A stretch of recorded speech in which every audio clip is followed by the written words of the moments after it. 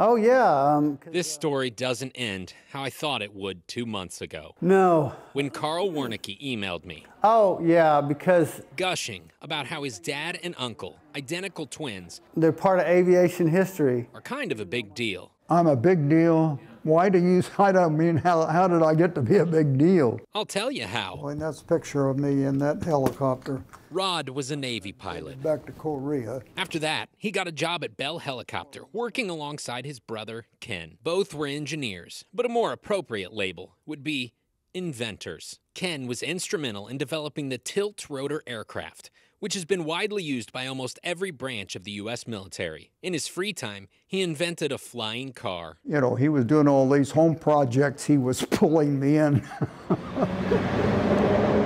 Together, they created the Fast Track Amphibian, a vehicle that can travel high speeds on land and water. This is a top Even today, from his tiny apartment in Bedford, Rod is still tinkering. 70 degree quadrant. But the reason for this story wasn't their engineering, it was their birthday. They were born 90 years ago today. Okay. Unfortunately, soon after Carl sent me that email, his uncle Ken died following a stroke. Paper, I guess it was. When I met Rod, he was noticeably at peace. Okay. He says before working together, he and Ken spent nearly 10 years apart. After reconnecting, they grew closer than they'd been in decades, something Rod appreciates now more than ever. Yeah, I'm thankful. I wouldn't have had some of those experiences, yeah. Their inventions were revolutionary, but the greatest thing they created were memories. Yeah. In Bedford, I'm Sean Giggy.